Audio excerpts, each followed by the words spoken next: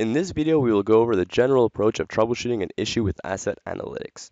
The approach presented in this video is applicable to a wide variety of issue, though we will be focusing on a specific issue which is that of analysis outputting calc_fail. For all of the technical details, please see the comments below this video. Now before jumping into the troubleshooting, let's look at our setup. We have a compressor asset with three attributes. We have two attributes, these input and output pressure, that will be the inputs to our analysis. Notice that they are both PI Point data reference. We therefore have historical and real-time data. This third attribute here, the pressure difference, is the output of our analysis and it also has a PI Point data reference. As we can see, the current value is calc fail.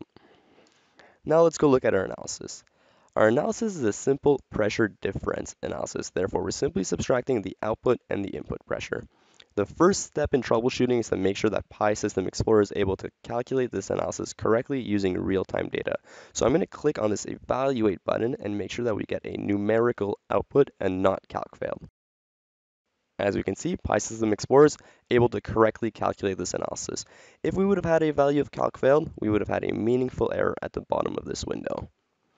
Now the next step is to make sure that Pi System Explorer is able to calculate this analysis using historical data. So I'm going to right click on this analysis and select preview results. And I'm going to preview the results for the last hour.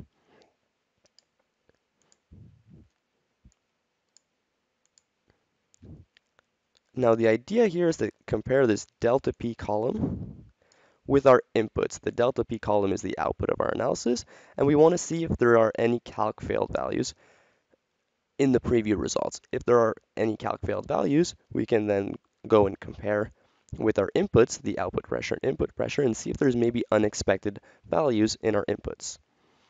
Looking at the preview results, it doesn't seem like there are any values of calc failed. I therefore need to pursue my troubleshooting. All right, the third step now is to go and try and backfill and recalculate this analysis. To do this, I'm going to right click on the analysis and I'm going to go and select backfill and recalculate.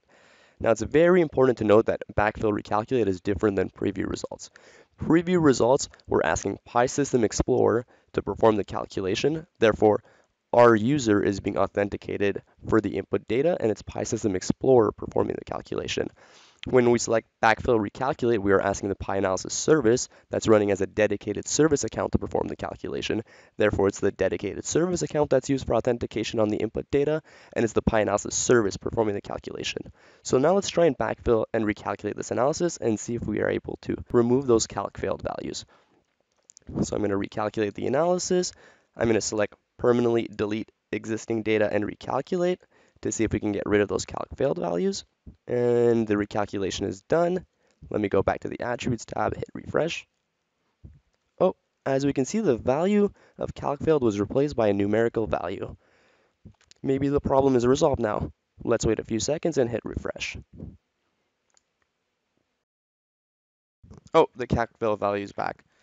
Okay, so it doesn't seem like we've resolved the issue, but we've at least narrowed it down. We determined that this issue is specific to real-time calculation and does not happen during a recalculation. Okay, at this point in time, I need more information to troubleshoot this issue.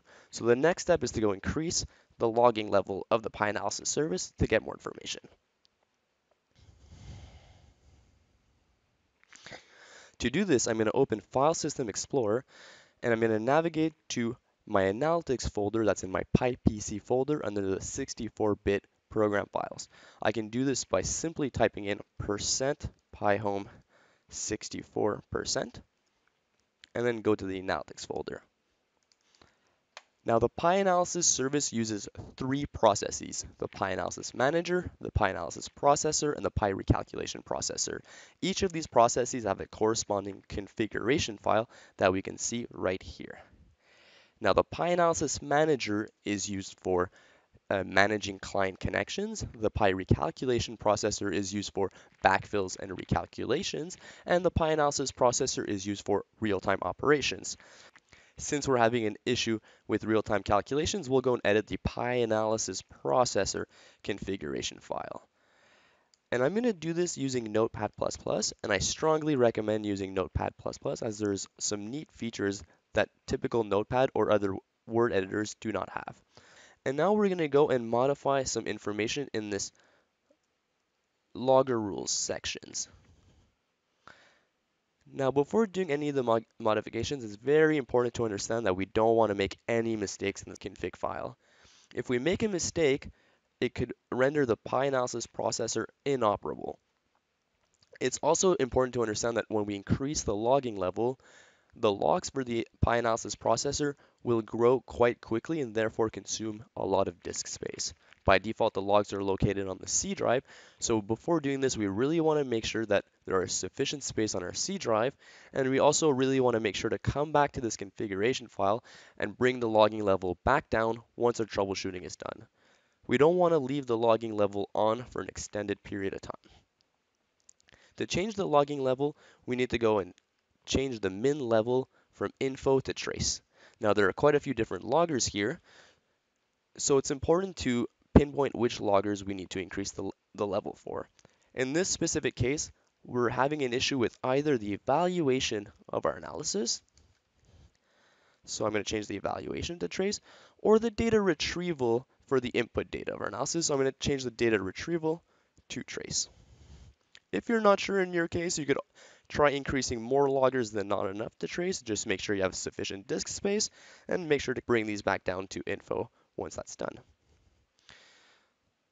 I'm going to hit Control S to save this configuration file. I'm going to navigate back to PI System Explorer because I need to make sure that the issue is going to happen again. So I'm going to hit refresh. Okay, I got another evaluation. Now let's go look at the logs. Let's go back to File Explorer, and the log file is located in the subfolder of program data. Program data is typically on the C drive, and we can navigate to it by doing percent program data percent. And then I'm going to navigate to OSI soft, OSIsoft, PI Analysis notification, and logs. The complete file path to the log files is right here. Now, since we were dealing with a real-time um, execution problem, I'm going to go look at the PI Analysis processor log. I'm going to right-click and open this with Notepad++. Oh wow, there's a lot of information here. I'm going to need a strategy to go through this log file because reading this line by line would be way too time consuming. Okay, I'm going to go back to PI System Explorer to my Analysis tab, and I'm going to right click on the analysis and select Copy. What this does is that it copies the full path of your analysis to your clipboard. So I'm going to go ahead and do that. And then I'm going to go back to Notepad++ and hit Control F to bring up the Find dialog box, and then Control V to paste in my full analysis path. As we can see here, there's a complete path to our analysis. And I'm going to use a neat feature in Notepad++ and select Find All in Current Document to find all of the log messages related to this analysis. So let me click on Find All in Current Document. And we found two lines where this analysis is mentioned. Let me go to the first line and see what the message says. Okay, so we can see here this is a message linked to evaluation. And I have quite a bit of information here. I have the trigger time of the analysis. I have some information on our inputs and on our outputs. All right, let's go look at our inputs. The first input, output pressure, I have a value of 135. The second input, input pressure, oh, I have a bad value here. And my analysis, I'm doing in output pressure minus input pressure. So I'm doing 135 minus bad. Okay, this makes sense that I'm getting a value of calc failed since I'm subtracting an integer to a digital state value. Okay, at this point in time, I've identified the root cause as to why my analysis is outputting calc failed is because one of my inputs has a bad value.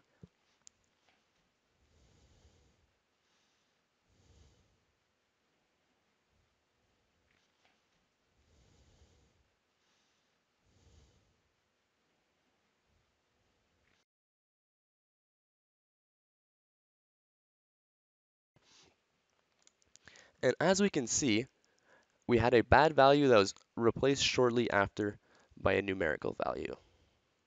So it seems like the interface or the application that's writing to this PI Point for some reason is writing a bad value and then replacing that bad value by the correct numerical value.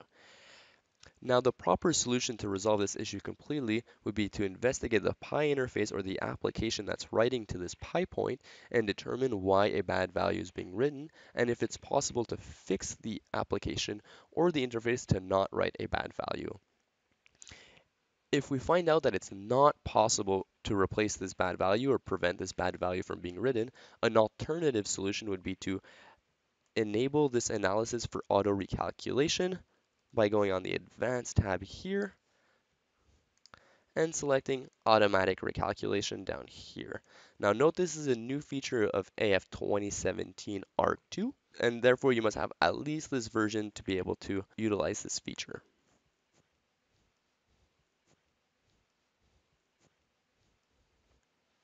Now to recap, we were having an issue with an analysis outputting calc failed.